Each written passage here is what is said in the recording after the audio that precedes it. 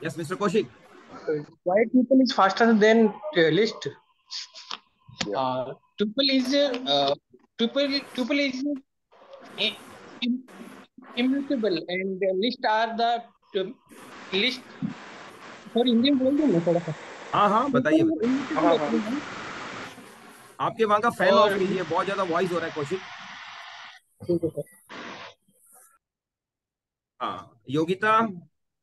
Welcome हो आप. Today your first day at PD classes on this particular part Sarita Vikas welcome all of you Sarita how are you sir good evening good noon yes good noon और yes Kaushik please answer हाँ tuple immutable होते हैं और list mutable होती है। तो list को list के अंदर बहुत सारे चीज़ें और बहुत सारे डाटा टाइप डालते हैं। इसके कारण ये थोड़ा स्लो होता है। ट्यूपल में डाटा टाइप भी सेम रहते हैं और इसकी लेंथ भी आ, से, सेम होने के कारण ये तेज होते हैं।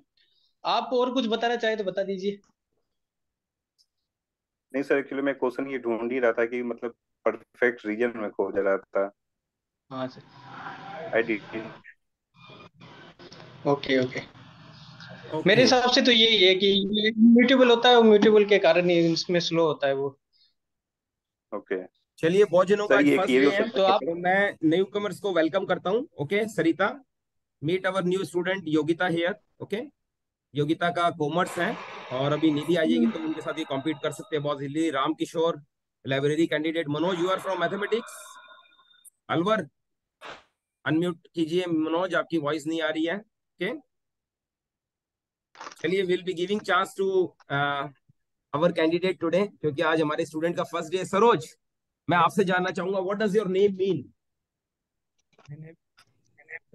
lotus okay so how you are similar to your name I always enlighten others and with my positive thought. Okay. I feel that. That's great. So you are going for PRT. Yes. ठीक है तो आपको मैं candidates को बोलूँगा कि वो आपसे कोई ना कोई सिचुएशन ज़रूर पुटअप करें ओके बाय दैट टाइम मैं मोनिका को चांस देता हूँ। मोनिका आप योगिता को कोई सिचुएशन दे सकते ताकि वो भी फैमिली हो क्लास के अंदर।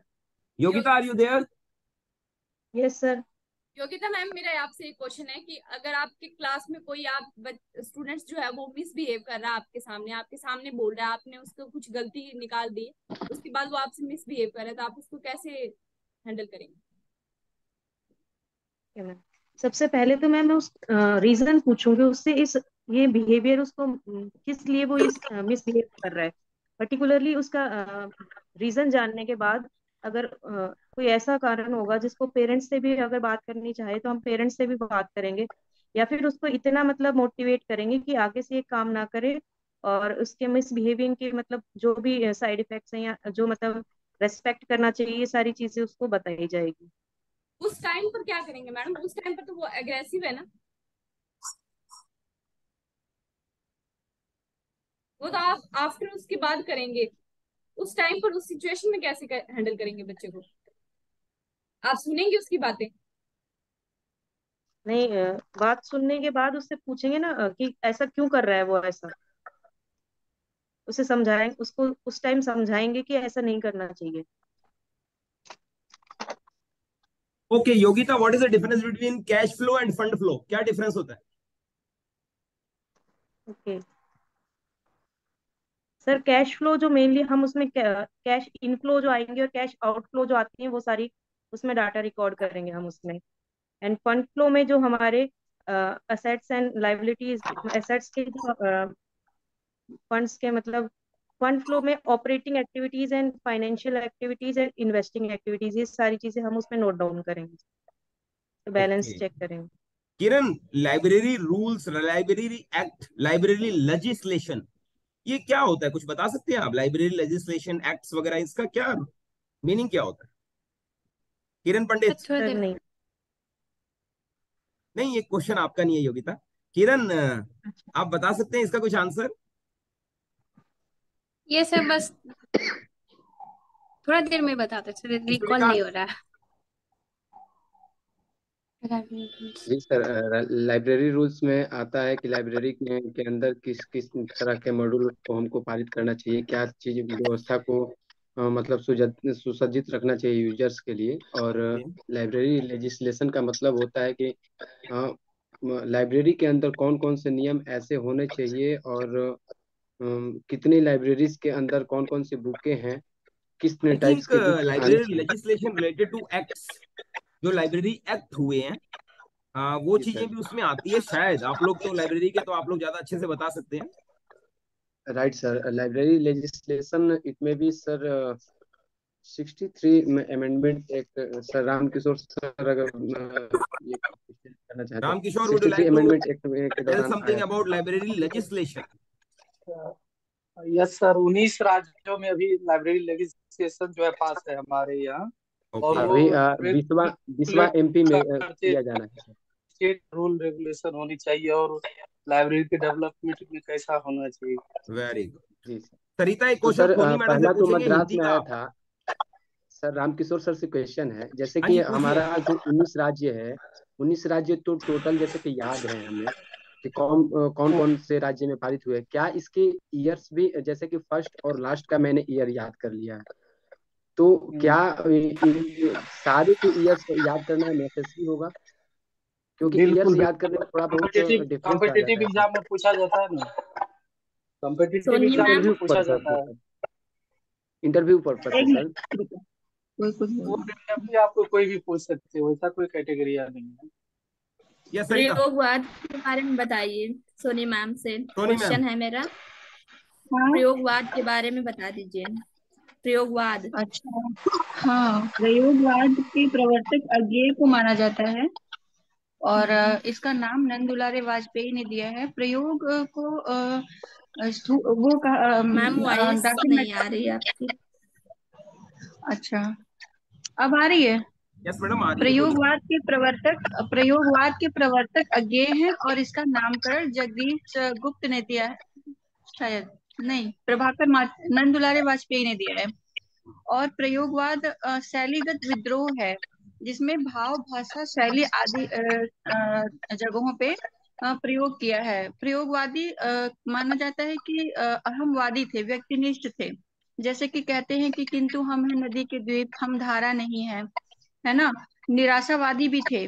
जैसे कि मैं रथ का टूटा हुआ पहिया हूँ लेकिन मुझे फेंको मत। धर्मवीर भारती ने कहा था। और इसमें हम्म। यथार्थ का चित्र है निराशा है कुंठा है और बस। इसकी स्थापना कब हुई थी? प्रयोगवाद प्रयोगवाद की स्थापना हाँ उन्नीस सौ तिरालीस से उन्नीस सौ बावन तक प्रयोगवाद का समय उन्नीस सौ तिरालीस में। हाँ ये मतलब आगे की पत्रिका एक निकली थी उसी से माना जाता है। अच्छा। हम्म, ओके। आप हमसे क्वेश्चन पूछ सकती हैं। हम्म। मनोज सर मैं आपसे पूछ सकते हैं। कब मनाया जा रहा है केबीसी में? 2024 में।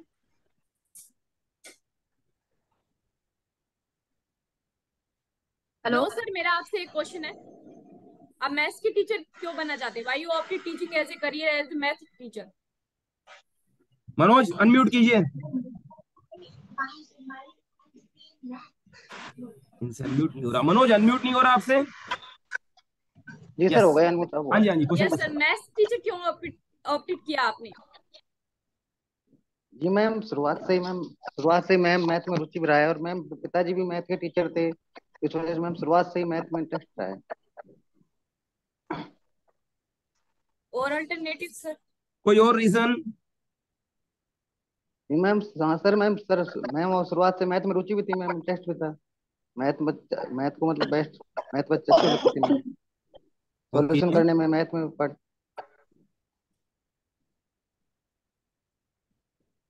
ओके तो सर मैं ये पूछना सर ये पूछना चाहता हूँ सर अपने इंटरव्यू में सर मैथ से संबंधित कैसे कैसे क्वेश्चन पूछे जाते हैं सर बिल्कुल बिल्कुल। वो बात आप हमारे पास आ ही रहे हो फ़िक्र मत करो आप चिंता मत करो ठीक है?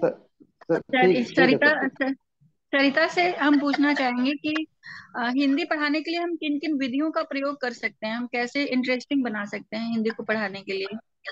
हाँ हिंदी को मतलब पढ़ाने के लिए सबसे पहले तो हमको मतलब गाना आना चाहिए। जैसे कविता जब पढ़ाते हैं तो उसके लिए गा के पढ़ाएँगे तो बच्चे ज़्यादा मतलब खुश होंगे और उच्चारण प्रोनाउंसिएशन ज़्यादा मतलब महत्व रखता है। अगर कोई भी चीज़ हम बोल रहे हैं हिंदी में, अगर जो हमारा उच्चारण सही है तो बच्चों को मतलब आसानी से समझा पाएँगे और बच्चों का भी उच्चारण मतलब अच्छा रहेगा। और इसके अलावा जैसे हम कहानी या कविता बताएँ तो कहानी बताते टाइम भी जो हमारी जो लय है आवाज़ है उसको मतलब थोड़ा सा तेज ही होनी चाहिए जिससे सबको सुनाई दे। और जो उसकी शैली है तो शैली भी हमारी सही होना चाहिए। और इसके अलावा भी बहुत सारी बातें हेलो मैम हम्म, जैसे कि ऐसा होता है कि हम ऐसे हाव भाव से उनको बताएँ कि उनमें इंटरेस्ट पैदा हो हिंदी के प्रति। हाँ इंटरेस्ट पैदा करने के लिए देखो जब हम क्लास में जाएँगे अगर जो पोएम सुना रहे हैं तो मान लो हम चिल्ला चिल्ला के सुनाएँगे तो वो लोग मतलब उनको थोड़ा सुनने में अजीब लगेगा और वो तुरंत ही परेशान होने लगेंगे। अगर वही हम लय तान से सुना रहे हैं उनको तो थोड़ा सा उनके अंदर सुनने की देखो हम लोग गाना वाना सुनते हैं तो इतना इंटरेस्ट आता है। वैसे बच्चे भी होते हैं उनको अगर मैम उनकी गा के सुना रही हैं तो वो इंटरेस्ट ज़रूर आएगा उनको पढ़ने में क्योंकि वो मैथ्स से पढ़ के और इसके अलावा हर सब्जेक्ट पढ़ के बोरिंग फील कर रहे होते हैं जब हिंदी पढ़ाई जाती है इसीलिए उस उनके अंदर मतलब अच्छे से फीलिंग आती है गावा के जब हम लोग पढ़ाते हैं। मेरा क्वेश्चन है सबसे निष्ठा के बारे में मैथ सर से पूछना था कि सबसे पहले मैथ का ही पीरियड क्यों रखा जाता है स्कूलों में? यस अधिकतर होता है कि पहला पीरियड पहला पीरियड मैथ का पीरियड मैथ्स का ही लगाया जाता है। हाँ क्यों? Do you want to answer, Manoj? Anybody else can? sir, Even Yogita can try. मुझे Ujjwal can try. Yes, Rohit. Sir math math का इसलिए सर मुझे ये लगता है क्योंकि अगर कोई भी अगर मैथ्स इसलिए रखा जाता है कि अगर मॉर्निंग सेशन में अगर कोई भी कैलकुलेशन अगर कोई कर रहा है कोई भी स्टूडेंट तो वो मोस्टली देखा गया है कि अगर फ्रेश माइंड रह गए तो कैलकुलेशन कोई भी करने में कोई कोई प्रॉब्लम नहीं होती है yes yes sir I think sir this is the main reason because अगर आप अगर एग्जॉस्ट कोई हो जाते हैं और उन्हें कोई भी कैलकुलेशन करने दे दिया जाए अगर कोई अगर डे भी अगर अगर कुछ डेली अगर हम लोग जो यूज़ कर रहे हैं कोई भी अगर उसका भी अगर हिसाब करें तो कुछ ना कुछ हो ही जाती है error Very right. Yes, Kiran, get ready. Yes. Hello, Kiran ma'am. I want to ask you a question, like the uh, situational question that uh, अगर मैं पीआरटी के लिए जा रहा हूँ और क्लास में एक बच्चा है जो सो जाता है मेरे जाते ही हमेशा से मतलब हर क्लास में मैं जब पढ़ाने जाता हूँ सो जाता है मेरे ही क्लास में तो उसका क्या सोल्यूशन रहेगा या सर अगर वो आपके क्लास अगर वो आपके क्लास में सो रहा है तो आप अपने पढ़ाने या तो आप में पढ़ाने में कुछ कमी रही होगी या उसका पढ़ने आपके सब्जेक्ट में पढ़ने में उसका इंटरेस्ट नहीं रहा होगा तो आप उससे पूछेंगे कि आ, आप मतलब कि आप मेरे क्लास में ये देखिएगा कि आपके क्लास में सो जाता है कि वो हर क्लास में ये सिचुएशन करता है। अगर आपके क्लास में करता है तो आप ये जानने की कोशिश कीजिएगा कि आपके पढ़ाने के वे में उसको प्रॉब्लम हो रहा है समझने हो रहा है कि आपके सब्जेक्ट में उसका इंटरेस्ट नहीं है। अगर आपका सब्जेक्ट में इंटरेस्ट नहीं है तो उस सब्जेक्ट को लेकर एक मोटिव, मोटिवेशनल स्टोरी के माध्यम से उसके बतलाइएगा। सर। पूजा, वेलकम, कैसी हो आप? Why you are absent Pooja there is a mathematician Manoj Meena आप कोई भी क्वेश्चन पूछ सकते हैं मैथ्स रिलेटेड ठीक है? चलिए नेक्स्ट उज्जवल आप कोई क्वेश्चन पुट अप करेंगे नहीं सर विकास सर क्वेश्चन कर रहे थे। सर विकास सर क्वेश्चन करिए सर। यस विकास। जी सर। निष्ठा के बारे में मैं पूछ रहा था सर कि निष्ठा ये जो केवी के अंदर ये जो ली जा रही है ये योजना कैसी योजना है? इसका फुल फॉर्म क्या होता है? इसके अंदर क्या क्या होती है? सर निष्ठा ऐप के बारे में पूछ रहे हैं sir. Anybody can Rohit sir बताएँगे सर निष्ठा ऐप के बारे में? नहीं पता। इसके बारे में पता तो बता दो। निष्ठा our our candidate want to speak something? Our odisha candidate? Yes shabash. I think Nishtha एक ऐप है जिसके ज़रिए क्या करा जाता है कि स्टूडेंट्स टीचर्स को उसके माध्यम से ट्रेनिंग दिया जाता है और कुछ कुछ उसके स्टडी रिलेटेड मटेरियल प्रोवाइड किया जाता है। टीचर्स ट्रेनिंग के लिए बनाया गया है ऑनलाइन टीचर ट्रेनिंग के लिए। जी जी। ऑनलाइन इसका फुल फॉर्म क्या होता है? इसके अंतर्गत आती है। तो मैम दीक्षा और दीक्षा ऐप में फिर डिफरेंसेस क्या होगा? जी जी। दीक्षा ऐप दोनों के लिए दीक्षा जो है जी जी जी digital infrastructure for knowledge sharing का होता है। Digital infrastructure for knowledge sharing और निष्ठा में क्या होता है कि निष्ठा स्टूडेंट्स के लिए भी यूजफुल होता है और टीचर्स के लिए भी यूजफुल होता है। दीक्षा में क्या है कि एनसीईआरटी के जितने भी बुक्स हैं वो ई कंटेंट के रूप में वो सारे दीक्षा के अंदर अप्लाई किए गए हैं। मतलब दीक्षा के ऊपर जितने भी सारी बुक्स एनसीईआरटी के उस पे वो बना हुआ है। उस पे आप मोबाइल से स्कैन करेंगे वो दीक्षा में खुल जाता है। जी जी और निष्ठा में क्या है कि अगर आपको कोई भी मतलब एक पढ़ाने का आइडिया चाहिए होगा जैसे बच्चों को किस प्रकार से आसान से आसान भाषा में समझा जा सके चाहे ये स्टूडेंट्स भी इस चीज़ को अप्लाई कर सकते हैं कि किसी भी चीज़ को समझना है तो हम ये जो निष्ठा एप्लीकेशन है इसके द्वारा हम आसानी से समझ सकते हैं। या बच्चों को समझाना हो तो वहाँ से पहले देख लेंगे कि किस टाइप से समझाया जाए ताकि बच्चे को आसानी से समझ में आ यस नेक्स्ट क्वेश्चन है। सरिता बताइए कि भरत मुनि ने भावों की संख्या कितनी बताई है? रस सूत्र में। हाँ भरत मुनि में वैसे टोटल पूछा जाए तो उनचास भाव है वैसे तो तैतीस बताई है। हाँ। ओके नहीं उनचास भाव सही बताई है क्योंकि वो आठ जो है स्थायी भाव हाँ, है टोटल अगर जो उसमें कुल भाव पूछे जाएँगे तब उनचास हो जाएँगे और संचारी हाँ, भाव की संख्या तैतीस बताई है हाँ ठीक है। निपुण भारत के अंदर दो योजना चल रही है वो कौन सी है उसका कार्य मैम निपुण भारत के अंदर जो योजनाएँ चलाई जा रही हैं वो बेसिकली ज़ीरो से लेकर के एट वर्ष के बच्चों के लिए जो कि वन से थ्री क्लास तक के बच्चे हैं उनकी एफ़ एल एन उसके अंदर निपुण भारत के अंदर ही एफ़ एल एन प्रोग्राम चलाई जा रही है। फंडामेंटल लिटरेसी एंड न्यूमरेसी का जो कंसेप्ट है इसको फॉलो किया जाए ताकि बच्चे की लर्निंग एड जो है जो अंडरस्टैंड कर सके समझ सके और दो दो लाइन का जो भी वर्ड होता है और एडिंग हो गया सब्सट्रैक्टिंग हो गया इस चीज़ को अच्छे से समझ सर एफ़ एल एन जो है वो तो मतलब प्राइमरी से भी पहले तीन मंथ का है ना सर जो कि प्राइमरी में प्रवेश करने के लिए है। जी मैम स्टूडेंट को प्रवेश करने के लिए टीचर्स को? तो ये स्टूडेंट को तो... अगर निपुण भारत में मैम देखा जाए। Hello FLN listen nicely yes FLN जो है फाउंडेशनल लिटरेसी एंड न्यूमरेसी है जिसको क्या करते हैं कि कोई बच्चा अगर पाँच अगर पांचवी क्लास में है अगर उसको नहीं आता है उतना तो उसको कैसे कॉपअप किया जाए दूसरे बच्चों से उसको एफएलएन के तहत ये लिया गया है। और इस, इसमें क्या एफ़ को फुलफिलमेंट करने के लिए निपुण आया है और शायद जुलाई 2021 को। सर मेरा सवाल है कि एफ़ जो है इसमें दो निपुण भारत में इसका यूज़ क्या है? निपुण भारत में इसका यूज़ क्या जो चलाया जा रहा है वो निपुण भारत के तहत ही चलाया जा रहा है। जी जी। चलाया जा रहा है मैम इसमें योजना इसमें दो तीन से नौ साल के जो बच्चे हैं उनके लिए मैथमेटिक्स जो बेसिक होता है वो वो उनको आना चाहिए। इसकी अक्षमता उसमें लिटरेचर ऑल्सो बच्चों में डेवलप करनी है इतनी अक्षमता कि उनको बेसिक मैथ आए। ये आ जाए या जो चीज़ पढ़ रहा है। मैम जो ये सब आना ज़रूरी है जो डेली यूज़ के लिए स्टेट पे कवर होता है मैम नेशनल लेवल पे फिर स्टेट लेवल पे फिर ब्लॉक लेवल पे फिर स्कूल लेवल पे। ऐसे तो करके ये क्या है अरे क्या मैम? विद्या परवेश का क्या कार्य है? क्या पूछ रहे मैं अवर ज़ोर से बोलिए। विद्या प्रवेश का इसमें क्या कार्य है? विद्या?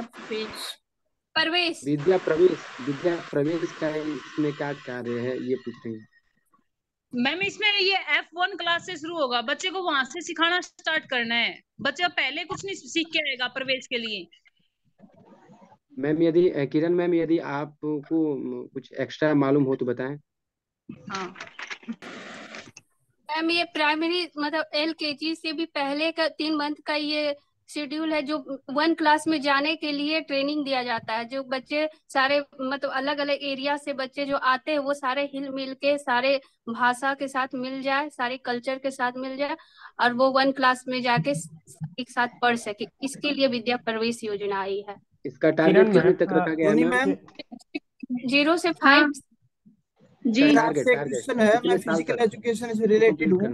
जब बाहर गेम होते हैं तो हम बच्चों को लेके जाते हैं तो आपस में झगड़ा ना उसके लिए हमें क्या मैनेजमेंट करना चाहिए कि वो आपस में लड़े झगड़े नहीं?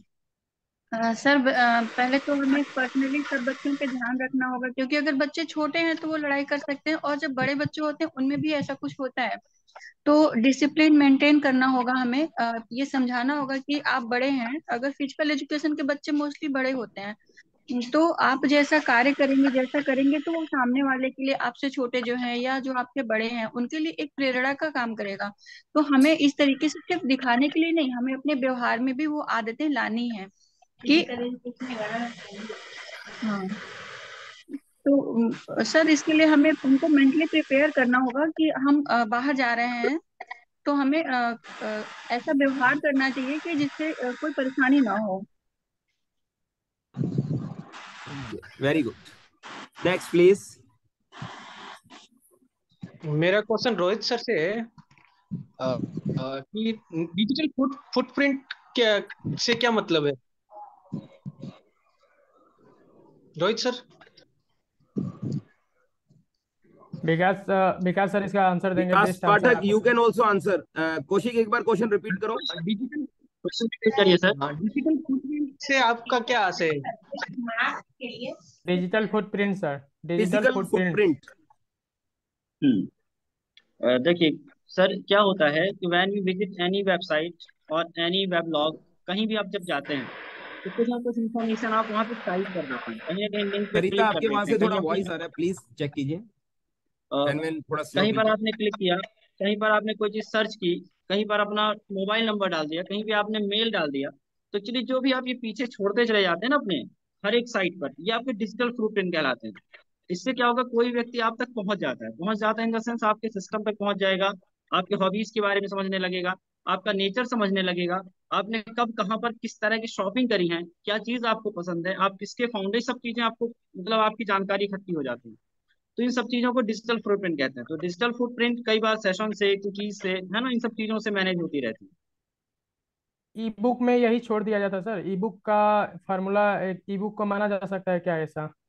जो सॉरी सर ई बुक नहीं ई बुक नहीं जैसे अगर आपने कहीं पर बुक मार्क लगा दिया वो भी एक तरह का डिजिटल फुटप्रिंट है आपका है ना? आपने कहीं कोई स्टडी की है डिजिटल फुटप्रिंट ज़रूरी आप ही बनाए। कई बार ऐसा होता है कि आपका जो ब्राउज़र होता है ना मशीन होती है आपका होस्ट होता है वो भी आपके डिजिटल फुटप्रिंट को रिकॉर्ड करता है। तो ऐसा नहीं कि आप ही जो बन सकते हो। जी। हाँ विकास सर जैसे कि हम लोग मोबाइल में कोई चीज़ सर्च करते हैं या ट्यूब पे यूट्यूब पे कोई चीज़ देखते हैं तो हमें उसी से रिलेटेड सारे वीडियो सारे जो भी न्यूज़ है वही दिखाता है। ये भी उसी तरीके का है यस यस हाँ, यही चलिए यही डिजिटल फुटप्रिंट है मैडम यही डिजिटल फुटप्रिंट है जो हम सर्च करते हैं उससे रिलेटेड चीज़ें हमारे पास आने लगती हैं। That because of digital footprint हमारे इंटरेस्ट को रिकॉर्ड करता है देखता रहता है। और ये सारी चीज़ें डेटा साइंस और डेटा एनालिसिस के थ्रू चलती है।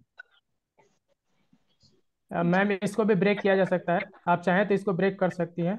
बट रह गई बात कि आपकी सोचने की शक्ति उससे आगे होनी चाहिए तो आप इसे ब्रेक कर सकती हैं। आपके अकॉर्डिंग नहीं दिखाएगा जो आप देखना चाहती हैं वही दिखाएगा वो। देखो उसके लिए कई सारे नहीं ना भी सोचे ना तो बहुत सारे टूल्स हमारे पास। अगर आप सेफ़ ब्राउजिंग करें दूसरे टूल्स के थ्रू काम करें तो भी आप इनसे बच सकते हैं। कोई ऐसा नहीं है बस आपको जानकारी होनी अभी आप अभी आप क्रोम कर दिया जाए तो भी सही। अभी आप क्रोम ब्राउज़र यूज़ करती हैं। एक लोकल ब्राउज़र है क्रोम ब्राउज़र सभी आम आम यूज़र सभी लोग यूज़ करते हैं। बट क्रोम ब्राउज़र आपके लिए उतना सेफ़ नहीं है जितना टोर ब्राउज़र और एक डक डक गो करके आता है ब्राउज़र वो अभी बहुत सेफ़ है। जिसपे आप अपने डेटा जो है डिलीट कर सकते हैं परमानेंटली और वो इजाज़त देता है। न कि क्रोम ब्राउज़र की एजुकेशन जो कि क्रोम ब्राउज़र की पॉलिसी है ऐसा इजाज़त नहीं देती है कि आप उसका डेटा पूरा डिलीट कर दें। विकास सर इसके बारे में बेहतर बता सकते हैं सर। देखिए क्या है कि बहुत सारी अगर ब्राउज़र नहीं भी है तो आजकल जैसे वीपीएन टेक्नोलॉजी हो गई है प्रॉक्सी सर्वर हो गया है इनका यूज़ करिए। जैसे आपने कहा टोरंटो यूज़ कर सकते हैं लेकिन कुछ ऐसी साइट्स होती है ना कि जिनके लिए फिर आपको लीगल शिप की ज़रूरत पड़ती है उनमें एक अपना आइडेंटिटी नंबर चलता है। तो बिल्कुल दुनिया ही अलग हो जाती है ऐसा फिर बहुत सारी चीज़ें हैं कि जिनको कर सकते हैं। लेकिन नॉर्मली अगर कुछ भी नहीं है तो एटलीस्ट आप ऐसा करिए कि आप अपना सेशन और अपने जो कुकीज का परमिशन ऑफ़ करके रखिए। और आप हमेशा सेफ़ ब्राउजिंग के लिए वो टैब यूज़ करिए प्राइवेट टैब जो होते हैं उनको यूज़ करिए तो तो कुछ कुछ चीज़ें हम फिर भी बच सकते हैं। Yes yes sir thank you sir next question sir राष्ट्रीय शिक्षा नीति राष्ट्रीय शिक्षा नीति उन्नीस और दो हज़ार बीस में मेन डिफरेंसेस क्या हैं? देखिए इसका आंसर अगर मैं दूँ तो मेरे हिसाब से जो मैंने पढ़ा हुआ है उस हिसाब से राष्ट्रीय शिक्षा नीति जो उन्नीस सौ छियासी आई थी it was based on cognitive model या यूँ कह सकते हैं कि वो डिपेंड थी संज्ञानवादी पर, है ना? संज्ञानात्मक मॉडल पर आधारित थी। और अभी के जो शिक्षा नीति है, वो हमेशा रचनात्मक मॉडल पर आधारित हो गई है। तो कंस्ट्रक्टिविज्म आ गया कहीं ना कहीं। तो इससे क्या हो रहा है कि हमारा जो ज्ञान है, इस चीज़ पे विशेष ध्यान दिया जा रहा है कि पिछले ज्ञान पर आधारित हो। पिछली जो राष्ट्रीय नीति थी, वहाँ पर हमेशा सिर्फ़ एक ही बात को लेके आया गया मेरे हिसाब से, जो कि इंक्लूसिव एजुकेशन था। लेकिन अभी जो शिक्षा नीति है यहाँ पे ट्वेंटी फोर्थ सेंचुरी के मॉडल को इंक्लूड किया जा रहा है। दैट मीन्स आपका भावनात्मक ज्ञानात्मक फ़िज़िकल ग्रोथ और खासतौर पर जो अभी टेक्निकल जो ग्रोथ आ गई है तो टेक्नोलॉजी को समाहित किया गया। पहले टेक्नोलॉजी समाहित नहीं थी मतलब कुछ तो था लेकिन साइंस को ज़्यादा फीचर दिया गया। सर ऐसा माना जाता है कि राष्ट्रीय शिक्षा नीति की महत्वपूर्ण दिन ये भी है कि टेक्नोलॉजी का यूज़ करने के लिए कहा गया था। आ, पर हम्म। हुआ अभी जाके है बहुत अच्छे से क्योंकि पहले से समय में बहुत सारी चीज़ें बदली हैं। लर्निंग आउटकम में नंबर को पहले ज़्यादा महत्व दिया जाता है अब मीनिंगफुल लर्निंग स्किलफुल लर्निंग को भी ध्यान में रखा जा रहा है। आई थिंक ग्रेडिंग सिस्टम हो गया है और जो ये ईईसी e का कॉन्सेप्ट आ गया अर्ली चाइल्डहुड केयर एजुकेशन तो ये भी पहले वाली शिक्षा नीति में नहीं था। वो पहले टेन प्लस टू में थी अब अब ये क्या पंद्रह सालों की हो गई five plus three plus three plus four में तो ये सब चीज़ें सुधार काफ़ी हुआ है शिक्षा नीतियों में। एक क्वेश्चन था मेरा उज्जवल जी से। कल का एक क्वेश्चन किया गया था। कल एक क्वेश्चन किया गया था कि यदि कोई बच्चा आपके लाइब्रेरी में सो जाता है तो आप okay, उसको कैसे कैसे हैंडल करोगे? इस चीज़ को बताइए आप प्लीज़ सर यदि बच्चा लाइब्रेरी में सो जाता है तो सबसे पहले तो मैं प्रेमवत उसके पास जाऊँगा सर कि बच्चा सो क्यों रहा है उसको मैं उठाऊँगा भाई क्या बात है? क्यों सर हो क्या बुक में इंटरेस्ट नहीं बुक पढ़ने में इंटरेस्ट नहीं आ रहा है क्या? अच्छा नहीं लग रहा है बुक पढ़ना? तो वो बताएगा कुछ ना कुछ तो रीजन देगा ना कि सर मेरा तबीयत खराब है या बुक पढ़ने में अच्छा नहीं लग रहा है या मैं इसी समय मुझे नींद आ रही है तो ठीक है आपको इस समय यदि नींद आ रही है यदि उसके अकॉर्डिंग यदि उसके अकॉर्डिंग यदि उस समय नींद आती है तो मैं उसको बोल दूँगा ये टाइम अपना चेंज कर दो तुमको नींद आ रही है तो। तब आप लाइब्रेरी में विज़िट मत करो। क्या मैं वो कारण नहीं जानिएगा कि वो क्यों लाइब्रेरी में आके सो जाता है। मैम अभी तो मैं बोल मैम अभी मैं कार्य ही बता रहा था आपको। कार्य ही बता रहा था कि मैं उससे पहले जानने की कोशिश करूँगा कि रीजन क्या है। यदि उसका रीजन मैं अपने तरफ़ से रीजन ही बताऊँगा बट कि मेरे पास बच्चा तो है नहीं कि मुझे रीजन बताने वाला है। तो मैं अपना रीजन खुद ही उसको से बताऊँगा कि क्या हो सकता है कि उसका रीजन हो कि उस समय उसको नींद आ रही हो या बुक पढ़ने में इंटरेस्ट ना हो उसको। अच्छा नहीं लग रहा हो बुक पढ़ना। सर एक कॉमन क्वेश्चन है। कि जब भी हम क्लास में जा रहे हैं अगर आप किसी क्लास में इंटर करते हैं और क्लास में बहुत शोर हो रहा है तो आप उसको कैसे हैंडल करेंगे? क्या मैंने एक बार रिपीट करिए मैम। कि जैसे आप क्लास में इंटर करते हैं और क्लास में बहुत शोर हो रहा है कोई आप पे ध्यान नहीं दे रहा है तो आप इसको कैसे हैंडल करेंगे? बच्चों को क्या सिखाएँगे? मतलब कैसे उसको पढ़ाएँगे या फिर मतलब उसको आप कैसे हैंडल करेंगे? How will you control the noise ये तो टीचर के यूनिकनेस पे डिपेंड करता है कि टीचर कितना यूनिक है अपने आप में। हम्म। यदि आप में थोड़ा भी अलग नहीं है कुछ करने का तो आपका इस आप एनीथिंग कह सकते हैं या एनीवन कह सकते हैं कि वो तो हल्ला करवे करेंगे आपको क्योंकि आपको आइडिया ही नहीं है कुछ आप यूनिक कर ही नहीं रहे बच्चों के लिए ना। तो आप बच्चा शोर करवे करेगा। यदि आप क्लास में एंटर करिए कुछ यूनिक करिए। यदि वो शोर कर रहा है तो आप ऐसा कुछ करिए जिससे उसका आकर्षण आपके तरफ़ बढ़े। अरे ये क्या? टीचर ने कर दिया। सारे से? क्या मैम? जैसे जाते ही आप क्लास में एंट्री करते ही सारे बच्चों से बोलिए मतलब क्लेप करिए। तो सारे बच्चे क्लेप पे हाँ, ध्यान देंगे अरे साइलेंट हो जाएँगे। अरे क्या रीजन है कि ये सर सर ने ऐसा कर दिया? या सभी लोग बोर्ड की तरफ़ ध्यान दो आज मैं एक शेर बनाने जा रहा हूँ। तो अरे सर मैथ बोर्ड की तरफ़ बच्चों को नहीं भी कहिए कि ध्यान दो। आप कोई ड्राइंग बनाए लिखने लग जाइए। हाँ, हाँ, तो सारे वो, बच्चे आपकी तरफ़ अट्रैक्ट हो जाएँगे सर ये क्या भले कर रहे हैं? आप भले ही मैथ के टीचर हो आप मैथ के टीचर हो आप कला यूज़ करने चालू करिए। देखिए बच्चों का अट्रैक्शन आपकी तरफ़ बढ़ेगा तुरंत। अरे सर ये क्या कर रहे हैं? आप तो मैथ के टीचर हैं ये क्या करने लगे? तो आप बोलिए कि आप कुछ जोड़िए इसमें आप। यदि अगर बच्चा आपके टीचर है वो तो जाके हाँ। क्या सर? मैं बोल रहा मैम से मेरा क्वेश्चन है तो वो तो जाके ये तो आर्ट नहीं करेंगे वो तो शायद जाके जाके डस्टर ही जाके वहाँ पे वो साउंड करेंगे जैसे बच्चे शांत हो जाएँ। यस यस सर ऐसा भी होगा सर लेकिन यदि सिचुएशन बेस्ड क्वेश्चन ये कहा जाए कि वहाँ आपको ऐसा कुछ नहीं करना है बट आपको नहीं तो ऐसे तो लोग टीचर जाते ही क्लास में चिल्लाते हैं क्यों शोर कर रहे हो? शांत हो जाओ। वो तो थोड़ा एक अलग हो गया सर वो तो अलग मोटिव हो जाएगा। हमारा। नहीं नहीं जैसे कोई क्लैप करना कोई आर्ट बनाना मैं पीजीटी का टीचर बोल रहा हूँ अगर कोई इलेवन ट्वेल्व पढ़ा तो वो क्या करे वहाँ पे? वो तो सर वो तो आप पीजीटी वैसे तो इलेवन ट्वेल्व वाले बच्चे तो ज़्यादातर वो तो नॉइज़ नहीं करते वो जाने के बाद जब टीचर एंटर करते हैं तो वो शांति हो जाते हैं। सर हमें डिसिप्लिन भी मेंटेन करना चाहिए। बच्चों को खुद ही उनमें उसमें इन्वॉल्व करना चाहिए। कोई रूल्स बनाते समय कि चाहे मैं आऊँ चाहे कोई भी टीचर आए पर आप अपना ये दिखाएँगे कि आप लोग संस्कारित हैं। ऐसा नहीं कि कोई भी आया आप अपने में ही लगे हुए हैं। कोई छोटे बच्चे तो है नहीं कि क्लास फिफ्थ तक के हैं। तो आपको आ, मतलब डिसिप्लिन बनाइए और उन्हें उनमें बच्चों को भी इन्वॉल्व करना चाहिए मुझे लगता है। और कुछ जैसे क्लास जी। कुछ जोड़ेंगे मैम? किरण मैम? जो अभी विकास सर क्वेश्चन किए थे आप उसमें कुछ जोड़ेंगी? लाइब्रेरी में आपका बच्चा सो रहा है तो। सर अगर लाइब्रेरी में बच्चा सो रहा है तो मैं ये जानने की कोशिश करूँगी कि बच्चा क्यों सो रहा है? कहीं वो रात में जागा तो नहीं है? या फिर जाग, जागने का रीजन पूछूँगे या फिर किसी रीजन या उसकी तबीयत खराब है या फिर वो आलस्य के कारण सो रहा है? अगर ऐसा कुछ रीजन वो नहीं देता है तो फिर मैं लाइब्रेरी लाइब्रेरी का भी दो मतलब वीकली होता है प्लान सर।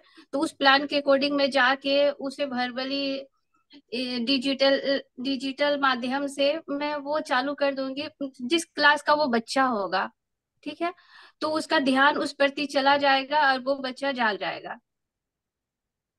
आ, इसको ऐसे नहीं कह, कहा जा सकता है क्या कि मतलब जैसे कि बच्चा सो रहा है और मैक्सिमम हम देखते हैं अगर गेस कर रहे हैं कि वो बच्चा मतलब ज़्यादा क्लास में रुचि नहीं हमारे पीरियड्स में रुचि नहीं ले रहा है तो सबसे पहले क्या करेंगे कि हम वहाँ जैसे कि लाइब्रेरी जी जी लाइब्रेरी पीरियड्स के मुताबिक मैं बता रहा हूँ। वहाँ मैं स्टोरी टेलिंग शुरू कराऊँगा और इसके बाद बुक टॉक कराऊँगा उनताक्षरी जो कि होता है लाइब्रेरी के अंदर भी उनताक्षरी होता है जैसे कि हम लोग इंग्लिश में उन्ताक्षरी होता है हिंदी में उन्ताक्षरी होता है। तो ऐसे बुक्स का जो बुक्स के राइटर्स का या बुक्स के सब्जेक्ट्स का उन्ताक्षरी कराऊं इससे क्या होगा कि बच्चा ऑटोमेटिकली जगेगा और कहेगा कि ये चीज़ क्या चल रहा है। तो उसको रुचि होगी। इस टाइप से मतलब तरह तरह के एक्टिविटीज़ कराऊँगा। बैठे रहने से क्या होता है कि केवल पढ़ाई करने से ऑटोमेटिकली हम लोग भी पढ़ते हैं तो ऑटोमेटिकली नींद आती है। तो कोई भी नया हाँ, उसकी एक्टिविटी उसके इंटरेस्ट के रिलेटेड जो है जाएँगे प्रॉब्लम और और सर ये कोई कोई एनसीएफ 2023 के बारे में बता सकते हैं? एनसीएफ 2023 एनसीएफ 2023 क्या सर बताएँगे प्लीज़ एनसीएफ 2023 में अलग अलग क्लास के लिए अलग अलग रूल्स दिए गए हैं। जैसे कि स्पेशल शेड्यूल सर साइंस और मैथ के लेके रिलेटेड दिया गया जो जिसपे फोकस किया गया कि सोशल साइंस और मैथ मैथ में बच्चे मतलब कि प्ले के थ्रू प्ले के थ्रू और सर सर अभी तक इसका स्ट्रक्चर आया है इसको इम्प्लीमेंट नहीं किया गया है स्ट्रक्चर पे लोगों के सजेशन मांगे गए हैं। ओके okay, तो उसमें क्या क्या बातें कही गई है मैम सर एनईपी और एनईपी और एनसीएफ में अंतर क्या है? एनईपी एजुकेशन पॉलिसी है मैम। एन और एनसीएफ फ्रेमवर्क है उसका। थोड़ा इसको अंतर समझाइए कितना पढ़ाना है इसमें कुछ सिलेबस बच्चों का कम किया गया है और उसमें बोला गया है कि नाइन करिकुलम फ्रेमवर्क का मतलब ही यही होता। है पहले ही आपका कैरिकुलम निर्धारित करना होता है कि आपको पूरे साल में कितना तक के सब्जेक्ट को कवर करना है, कितने तक की पढ़ाई करानी है, ये सेशन स्टार्टिंग के पहले ही इस चीज़ को पूरा निर्धारित कर दिया जाता है। और एजुकेशन पॉलिसी होती है उसके अंदर बच्चों को क्या क्या चीज़ सिखाना है, कितने क्लास तक के बच्चों को क्या चीज़ सिखाना है, ये टारगेटेड होता है। ये भी जैसे कि आज जैसे कि एफएलएन में एनईपी का पार्ट है सर, एक एनसीएफ ये बोला जा सकता है। जी जी, बिल्कुल। इसमें एफएलएन में भी मैम ये चीज़ कराई जाती है कि आज जैसे कि आप पढ़ाने जा रही हैं तो आज बच्चों को एक्टिविटीज़ के थ्रू ही क्या चीज़ आप उसको सिखा देंगे? मतलब बिल्कुल वो समझ में आ सके। ये ना कि आपको केवल गई क्लास में गई और बोल करके चली आई, लेक्चर दे के चली आई। ऐसा नहीं करना है। देखना है कि बच्चा किस टाइप से सीख सकता है। वो चीज़ें उसको देनी होती है तो ये टारगेटेड होता है। सर इंक्लूसिव एजुकेशन क्या है? और ये हम केवीएस uh, में जैसे कि डिफरेंट माहौल है मतलब डाइवर्सिटी है तो उसको आप किस रूप में लेंगे? मतलब कैसे ऐसे सारे अलग अलग बैकग्राउंड आए हुए बच्चों को कैसे एक साथ लेके चलेंगे? कैसे आने वाली समस्याओं को समस्याओं का हल निकालेंगे? मतलब क्या क्या हम अलग कर सकते हैं सर मैम इंक्लूसिव एजुकेशन के अंदर ही समावेशी शिक्षा ही इसका नाम है जो कि सारे तरह के बच्चे इसमें इंक्लूड हो सकते हैं जो कि एवरेज स्टेज वाले जो भी हो गए या एक्टिव लर्नर हो गए या बहुत ज़्यादा हाई लेवल वाले जिनका आई लेवल हाई है वो सारे इंक्लूड हो जाते हैं। जैसे कि मान लीजिए कि कोई बिल्कुल ही राइजिंग स्टूडेंट्स और एक बिल्कुल ही हाई लेवल का स्टूडेंट्स तो वो दोनों अगर आप पढ़ा रही हैं आप अपना आपके क्लास में और बड़ा वाला या तो इंटरेस्ट नहीं ले रहा है। या हम्म। जो कि जिसका हाई लेवल है उसके level because of limited time span will answer tomorrow the same answer okay so थोड़ा entertainment last one minute yes Monika Achyutam केशवम कृष्ण दामोदरम राम नारायणम जानकी वल्लभम। कौन कहती है भगवान खाते नहीं? कौन कहती है भगवान खाते नहीं? बैर शबरी के जैसे खिलाते नहीं। कौन कहती है भगवान सोते नहीं